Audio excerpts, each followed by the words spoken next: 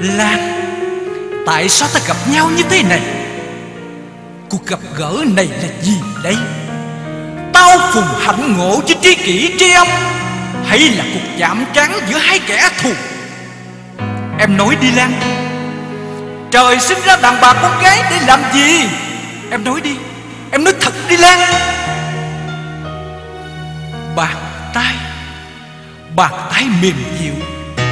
Tại sao không dùng để cầm qua Cầm bàn tay của người mình yêu Mà lại đi cầm súng, cầm lựu đạn, cầm truyền đơn, cầm biểu ngữ? Tại sao vậy Lan? Trời sinh ra đàn bà con gái để làm gì? Để yêu Để thương và chịu những áp bức khổ đau. Con người con gái nào mà không muốn được cầm qua Không muốn tìm hơi ấm trong vòng tay của người mình yêu Để được đi trên khắp cõi bờ đất nước. Nhưng tôi hỏi anh, Nếu như trên khắp cõi bầu đất nước này Còn đầy dãy hang hầm miệng sói Và cám bẫy của kẻ thù, Thì làm gì có tình yêu trọn vẹn? Làm gì yên lòng để được cầm qua Đó là lý do mà vì sao những người con gái như chúng tôi phải đi cầm súng? Lan, Tại sao em bắt anh chứng kiến cảnh trạng đau lòng này chứ?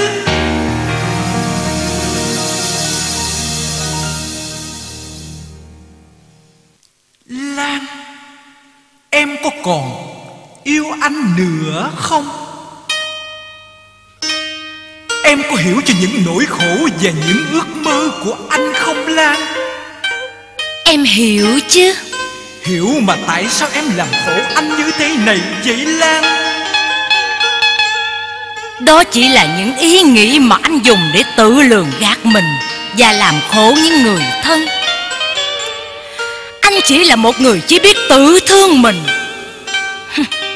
Nói thật nha Trừ bản thân anh ra Anh chưa yêu một người nào khác. Cho dù người đó được gọi là người anh yêu Tôi! Phải.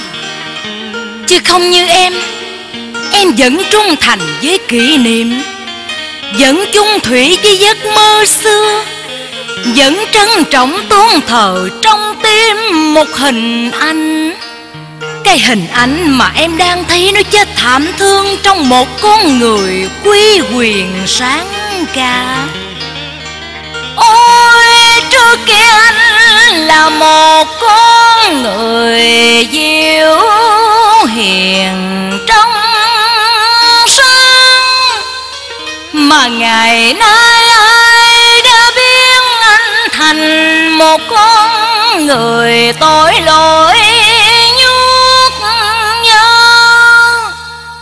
Tồn tại làm sao với những tháng ngày đẫm máu buông trôi Với những đêm nhạc mê gai rời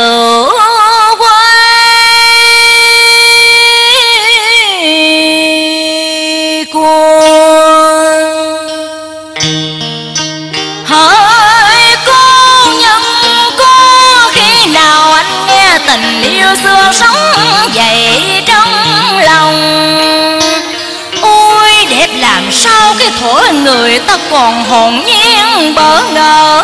Còn đùa giỡn tung tăng Ngây thơ mà sâu sắc hồn nhiên mà lãng mạn đa tình. Một chút nắng đồng quê, Một thoáng hương đất mẹ, Một hình ảnh hiền nhân, Cũng đủ làm cho con người ta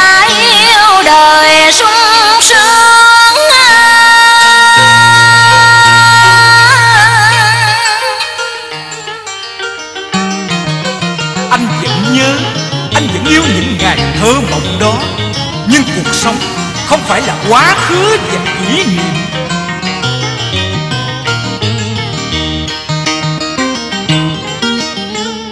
Con người có lịch sử, có gốc, có nguồn Thì làm sao quên được quá khứ hở anh?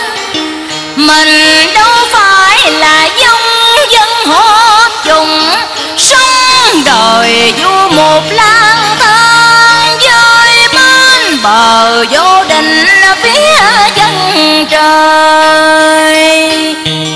Mình có những gốc rễ bền chặt ban sâu. Từ trong tận đế tâm hồn? Anh tưởng rằng anh có thể quên. Anh tưởng rằng anh có thể dùi chôn bằng những hình ảnh sao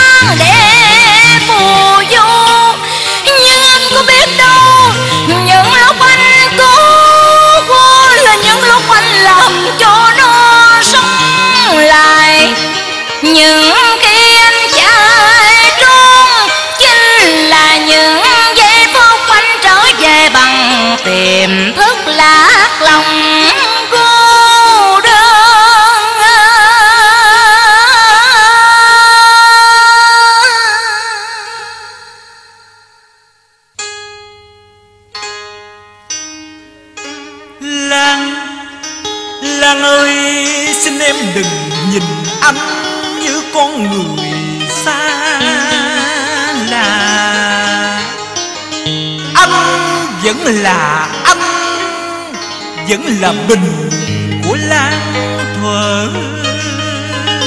Trước Vẫn cuồng say nồng nhiệt Như cái thuở ban đầu hai đứa mới yêu nhau. Anh cũng biết thương em nhớ mẹ lòng trước thảm họa chiến tranh nhớ ngày xưa anh cũng làm thi sĩ, ca ngợi tình ta như trăng nước mây ngàn. Rồi một sáng anh đi anh đi là để đem vinh quang về cho cha mẹ. Đem hạnh phúc cho lứa đôi tháng ngày mong đời nhưng có ngờ đâu giờ đây giữa chúng ta lại có bức tường thành nào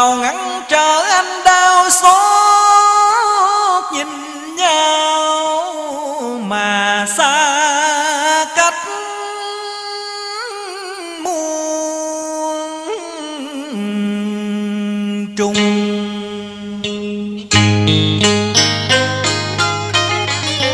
Lan ơi, xin em đừng hiểu anh là kẻ bạc nghĩa vô tình. Em biết không, hình bóng của em mãi chập chờn trong giấc ngủ. Nỗi xót đau cứ hoàng đắng ở lòng anh. Anh không muốn mất em, Anh không muốn em phải dấn thân vào con đường vô nghĩa. Để rồi ngày nào hỏng súng của anh sẽ bắn vào em. Lan ơi, nếu em ngã xuống thì tim anh trở thành bằng giá. Xót đau và bao nhiêu nỗi kinh hoàng.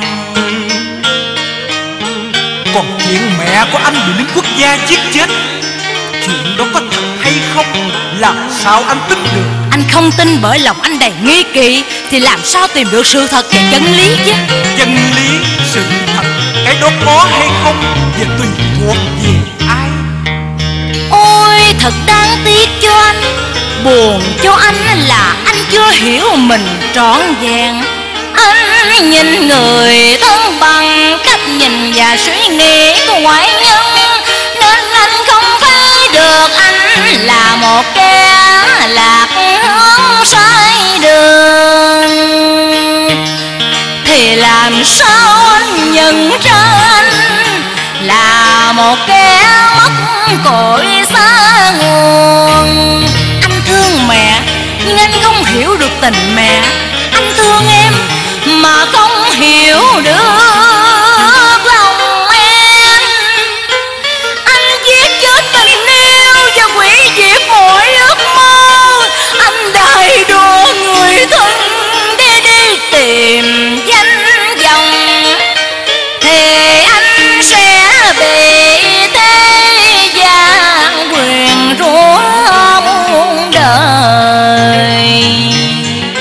không tin điều đó. Rồi đây anh sẽ phải tin.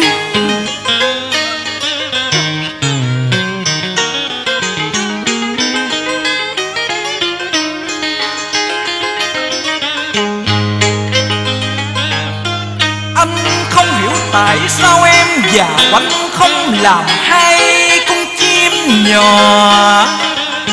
Ca hát suốt đêm ngày một bài bình yên Trong một thế giới riêng tư giữa vùng trời thơ mộng. Anh sẽ lo cho em, Anh lo cho em có đủ vàng son nhung lụa. Anh sẽ dựng cho em một ngôi nhà nhỏ xinh xinh, Nghĩa là ngay trên mảnh đất. Anh sẽ tạo cho em một cuộc sống thiên đường. Tội vì em dấn thân vào vòng nguy hiểm, Xuống đường tranh đấu để rồi mang lấy quả vào thân. Em nghĩ coi, Việc làm đó chỉ trước lấy đau thương, Trước sắt thép đàn bơm của một siêu quốc có một sức mạnh kinh hoàng. Anh đừng quên, Quân xâm lược ngày xưa rất tàn độc kinh hồn. Nhưng một sức đàn áp kinh hồn đó sẽ gặp phải một sức chống đối kinh hồn. Thôi em chọn lựa đi. Em đã chọn rồi. Tự do hay nhà giam? Ai dạy gì mà chọn nhà giam hả anh? Như thế nghĩa là em muốn tự do. Vậy thì nào em hãy khai đi. À Nếu khai đi được anh ban cái tự do theo kiểu đó thì Tôi chọn nhà giam. Nhà giam Em nói lại nghe coi. Tôi xin nhắc lại Nếu khai để được anh ban cho cái tự do kiểu đó thì Tôi chọn nhà giam. Được Em sẽ tội nguyện